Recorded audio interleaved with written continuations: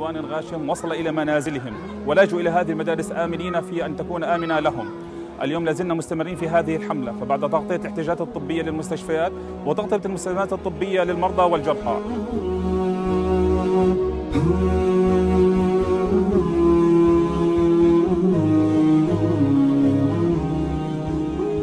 قمنا بتقديم أربعة ألاف وجبة ساخنة إلى الناس الذين نزحوا إلى المدارس.